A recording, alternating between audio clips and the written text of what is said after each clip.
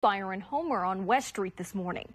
According to the Homer Fire Protection District, the family's refrigerator caught fire. The flames then spread to the walls and eventually the entire house. The Red Cross is now helping that family.